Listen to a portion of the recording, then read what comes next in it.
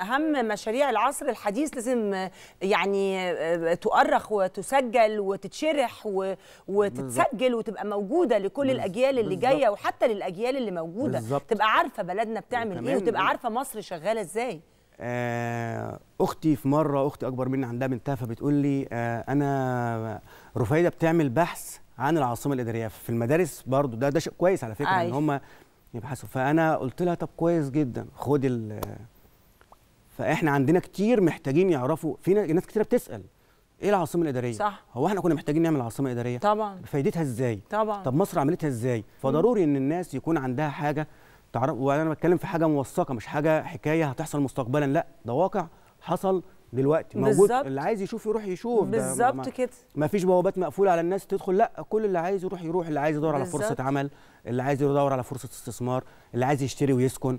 كل الحياة كاملة بنتكلم على حد على حاجة موجودة على أرض الواقع يعني مش.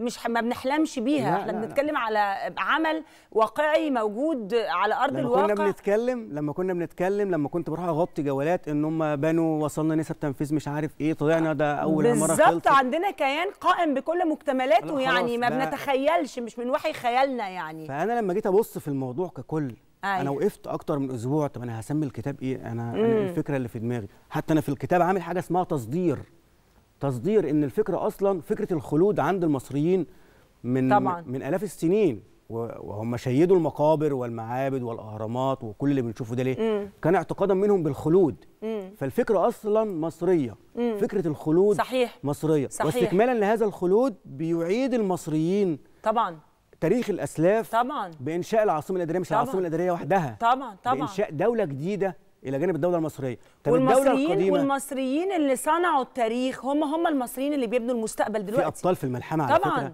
دي ملحمة كبيرة جدا. ملحمة طبعاً. التنمية اللي حصلت التسع سنوات اللي فاتوا. ملحمة ضخمة جدا.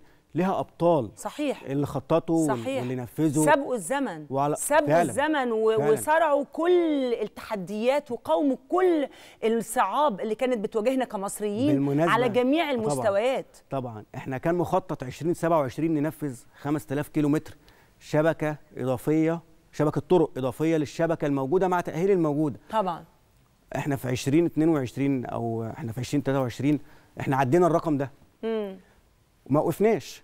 يعني كل القيادات طب إحنا حققنا المستهدف في 2030 وفي 2027 هنقف لا مكملين مم. مكملين في نفس الخط وفي نفس الاتجاه عندنا plan واضح آه، يمشي مسؤول يجي مسؤول في plan واضح وفي خطة واضحة.